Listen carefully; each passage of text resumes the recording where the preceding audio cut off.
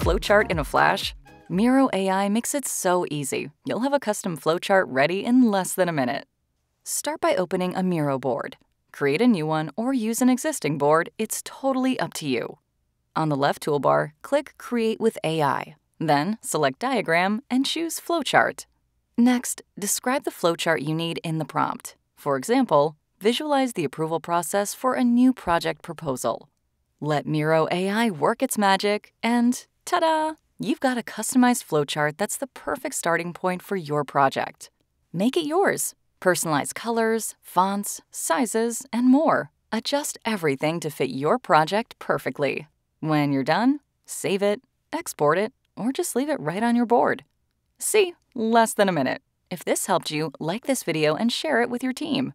Don't miss out on more quick Miro tips. Subscribe to our channel and stay in the loop for all the latest tricks. What's the first flowchart you're going to create? Drop your ideas in the comments below. We read you.